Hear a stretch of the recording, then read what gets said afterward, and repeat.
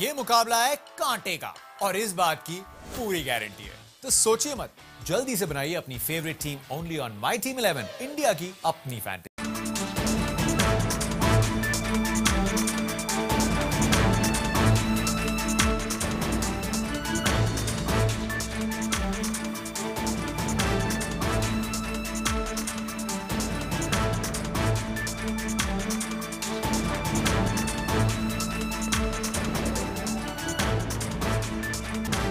तो इस वक्त की बड़ी खबर हम आपको दिखा रहे हैं। बड़ी खबर दरअसल यह कि केंद्रीय मंत्रिमंडल से इस्तीफा हुआ है और हरसिमरत कौर का इस्तीफा हुआ है। दरअसल, केंद्र सरकार ने जो किसानों से जुड़े, कृषि से जुड़े तीन नए बिल पेश किए हैं, उसको लेकर अकाली दल का विरोध और उस विरोध को देखते हुए ये इस्तीफा हुआ है।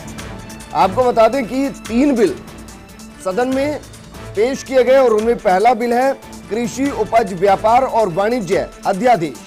इसके अलावा दूसरा बिल है मूल्य आश्वासन तथा कृषि सेवाओं पर किसान समझौता अध्यादेश, और तीसरा बिल है आवश्यक वस्तु संशोधन अध्यादेश।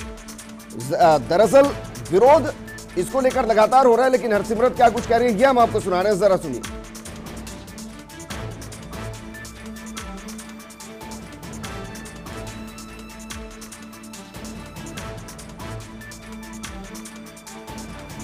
तो केंद्रीय मंत्री हरसिमरत कौर ने इस्तीफा दे दिया है। मेरी सहयोगी और दिल्ली ब्यूरो चीफ अदिति नागर मेरे साथ जुड़ चुके अदिति क्या यह माना जाए कि अकाली दल, क्योंकि किसानों का एक बड़ा वोट बैंक पंजाब के अंदर, और अभी इस बिल को लेकर हरियाणा, जो कि पंजाब से लगता हुआ राज्य है, वहाँ पर जमकर विरोध हुआ था। ऐसा विरोध पंजाब में ना हो, अकाली दल के खिलाफ ना हो, इसलिए इस्तीफा दे दिया गया।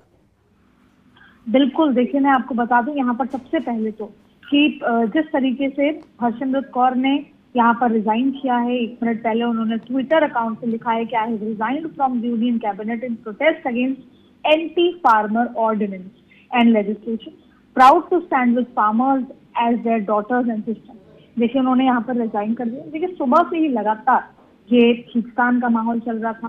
सुखबीर सिंह बादल ने इसको पहले ही लगातार इस बिल को लेकर अपोज किया। और ये भी बताया जा रहा है कि दोपहर में हरसिमरत कौर से जो यूनियन कैबिनेट से बड़े मंत्री हैं, जो घर पे मिलने भी गए, बातचीत भी की।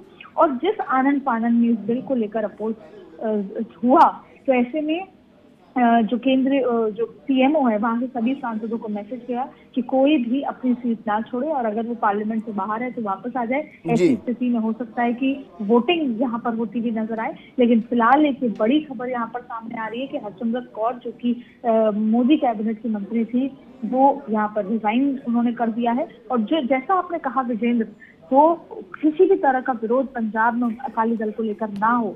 इसलिए यहाँ पर उन्होंने रेजिग्नेशन करते हुए साफ़ किया है कि मैं फ़िलहाल जो फार्मर्स हैं, उनके साथ खड़ी हूँ और मुझे बहुत गर्व महसूस हो रहा है कि यहाँ पर मैंने ये जो बिल है, ये एंटी फार्मर बिल है, उसके विरोध में खड़े होकर मैंने केंद्रीय कैबिनेट से रिजाइन कर दिया। जी बिल्कुल। अदिति आप हमारे साथ बने रही हमारे साथ किसान नेता रामपाल जारजी जुड़ चुके रामपाल जारजी क्या वाकई में भी आपको ऐसा लगता है कि अगर ये तीनों बिल जो बीजेपी ला रही है जिनको पेश किया गया है अगर वो लागू हुए तो फिर कृषि का प्राइवेटाइजेशन हो जाएगा यानी कि निजी हाथों में किसानी चली जाएगी। ब्रजेंद्र जी जी। मैं आपकी बात से सहमत हूँ। ये तीनों जो बिल है इनके कारण से खेती का नुकसान होगा देश को नुकसान होगा। और बीजेपी अभी बहुमत में है उस बहुमत के घमंड के कारण से इसको पहचान नहीं पा रही है। दूसरा जो इन्होंने मॉडल अडोप्ट किया हुआ है डेवलपमेंट का और जो इकोनॉमिक डिज़ाइन इनकी वो है निवेश आधारित विकास। है ना? कि निवेश आधारित विकास के कारण से ये निवेश आकर्षित करने के लिए ये सारा का सारा काम कर रहे हैं तो खुद का इनमें दिमाग नहीं बाहर के लोग जैसे गाइड कर रहे हैं उनके कारण से ये ऐसे बिल ला रहे हैं और इसमें किसानों का अहित है तो भी ये किसानों के भले के नाम पर जी। ये बाहरी कंपनियों का देश की बड़ी कंपनियों का बड़े पूंजीपतियों को एकाधिकार कृषि उपजों में व्यापार में सौंपने के लिए जी। ये सब सब काम कर रहे हैं। लेकिन रामपाल जाट जी मैं आपसे समझना चाहूँगा सर क्योंकि तीन बिल जो हैं उनमें पहला बिल ये कहता है कि किसान अपनी उपज को फ्री व्यापार की सुविधा उसको उपलब्ध करा देगा यानी कि वो कहीं पर भी उसको बेच सकता है। दूसरा बिल ये कहता है कि कॉन्ट्रैक्ट फ़ार्मिंग होगी इससे छोटे किसानों को ध्यान रखते हुए फैसला लिया गया है। तीसरा बिल जो है वो ये कहता है कि दलहन अनाज खाद्य तेल आलू प्याज ये अनिवार्य व्यवस्थाओं की और वस्तुओं की सूची से हटा दिया जाएगा। इनका स्टोरेज किया जा सकता है किसान इनको स्टोर कर सकता है। तो इनमें से गलत क्या लगता है सर? पहली जो चीज़ है कृषि उपजों का व्यापार। जी। अब तक किसान पे कोई भी प्रतिबंध देश में नहीं था कि वो अपनी उपज को कहीं बेच नहीं सकता हो। जी। किसान पहले भी बेच सकता हो लेकिन जिस ढंग से बीजेपी इसको प्रचारित कर रही है कि हमने किसान को आज़ादी दे दी किसान को स्वतंत्र कर दिया किसान अब तक बेड़ियों में जकड़ा हुआ था ये निराधार और मिथ्या प्रचार है। पहले भी किसान अपनी उपज को कहीं भी बेच सकता था। जी। आज भी कहीं भी बेच सकता है। इसमें कोई अंतर नहीं आया। हाँ इतना अंतर ज़रूर आया है कि पहले जो व्यापार करने वाले लोग थे उनको इतनी छूट नहीं थी जितनी इन कानूनों का ने दी है। जी। अब वो रामपाल जी एक एक बिल के साथ बात करते हैं सर। एक एक बिल के साथ। आपने जिसका ज़िक्र किया इसके लिए तो अभी भी मंडियों के अंदर ई मंडी व्यवस्था है। किसान अभी भी ई मंडी के माध्यम से कहीं पर भी बेच सकता है। तो आप ये मानकर चलें कि इस बिल का विरोध नहीं हो रहा होगा।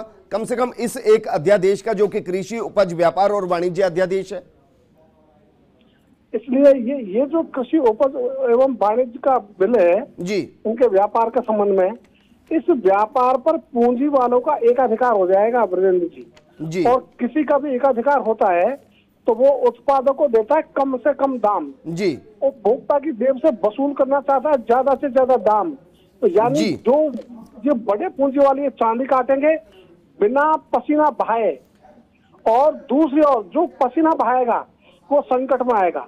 वो सर ही कौन से बिल की बात कर रहे हैं? आप दूसरे रामपाल जाट जी अगर आप मुझे सुन पा रहे हैं सर कौन से दूसरे बिल की बात कर रहे हैं जो ये कहता है कि कॉन्ट्रैक्ट फ़ार्मिंग हो सकती है? आप उसकी बात करें अब दूसरे की मैं बात करता हूँ ब्रजेंद्र जी। जी। ये जो संविदा खेती का बिल है इसमें ये कह रहे हैं कि भाई बीज खाद कीटनाशक टेक्नोलॉजी सबको ये जो है ना बाहरी जो कांटेक्ट करेगा वो देगा। जी। और फिर जब उपज पैदा हो जाएगी तो उसकी ग्रेडिंग उसकी फेयर एवरेज क्वालिटी इसका निर्धारण वो करेंगे। तो इसका अर्थ यह है कि पूरी की पूरी व्यवस्था ये चली जाएगी। ये जो जिनको कहते हैं फैसिलिटर उनके हाथ में जिनको कहते हैं ट्रेडर उनके हाथ में बड़े लोगों के हाथ में और कहा छोटी जोत का किसान और कहा ये दैत्याकार कंपनियाँ कहा मुकाबला करेंगे किसान इनसे? इसलिए किसान को ये कैसे भी दबोच लेंगे अभी भी जो कॉन्ट्रैक्ट फ़ार्मिंग का अनुभव आया देश में चाहे टमाटर की हो चाहे हल्दी की हो चाहे अदरक की हो जहाँ भी उन्होंने कॉन्ट्रैक्ट फ़ार्मिंग की है अपने चार सौ जयपुर में एक साल तो उन्होंने टमाटर खरीदा। दूसरी साल तो किसानों को ट्रैक्टर में भरकर अपना टमाटर सड़कों पर फेंकना पड़ा था। ये खरीदने को नहीं आए। जी। क्योंकि ये इनकी खुद की शर्तों पे व्यापार करते हैं। जी। ये कमाने आए हैं ये गमाने नहीं आए तो चिड़िया चुगने आई है पूछ कटाने थोड़ी आ जी रही है। रामपाल जाट जी शुक्रिया हमारे साथ जुड़ने के लिए महत्वपूर्ण जानकारी देने के लिए अपने विचार रखने के लिए हमारे साथ कमल जी जुड़ गए हैं जो कि वरिष्ठ पत्रकार हैं। कमल जी जिस तरीके से इस्तीफा हुआ है क्या इस इस्तीफे को हम हरियाणा से जोड़कर देखें? क्योंकि हरियाणा में अच्छा खासा किसानों ने विरोध किया। पंजाब उससे लगता हुआ है। अकाली दल को लग रहा होगा कि अगर ये बिल पास हुआ और अकाली दल ने सदन में बीजेपी का समर्थन दिया तो फिर इस तरीके का विरोध पंजाब में उनके खिलाफ हो सकता है। अ, बिल्कुल विजेंद्र जी अपने दर्शकों को बता देते हैं कि जिस तरीके से 2022 में पंजाब में चुनाव है और उस चुनाव को देखते हुए ऐसा किया जा रहा है क्योंकि हरियाणा में तो किसान प्रदर्शन कर ही रहे थे लेकिन पंजाब के किसान भी अपना जो प्रदर्शन है वो कर रहे थे लगातार समय समय पर। वो पंजाब के कुछ किसान अभी दो दिन पहले दिल्ली पहुँचे थे और अपना विरोध प्रदर्शन किया। वहीं जो पंजाब जो पंजाब के कांग्रेस के सांसद हैं वो भी विरोध प्रदर्शन लगातार कर जी। कमल जी क्या मुझे सुन पा रहे हैं? लगता है संपर्क कट गया। एक बार फिर से उनसे संपर्क करने की कोशिश करेंगे, लेकिन आपको बता दें कि तीन अध्यादेश जिनको लेकर हरसिमरत कौर ने इस्तीफा दिया है, मोदी मंत्रिमंडल से इस्तीफा दिया है, वो बिल क्या कहते हैं, ये एक एक करके हम आपको बता रहे हैं। पहला बिल है कृषि उपज, व्यापार और वाणिज्य अध्यादेश। ये कहता है कि राज्यों के कृषि उत्पादन मार्केट कानूनों के अंतर्गत अधिसूचित बाजारों के बाहर किसानों की उपज के फ्री व्यापार की सुविधा है। यानी कि किसान कहीं पर भी अपने व्याप अपने जो खेती है, उसको बेच सकता है एक तरीके से फ्री मार्केट इसको आप इस तरीके से भी समझ सकते हैं, अभी भी ई मंडी का ऑप्शन किसान के पास होता है। दूसरा जो बिल है, वो बिल है मूल्य, आश्वासन तथा कृषि सेवाओं पर किसान समझौता अध्यादेश।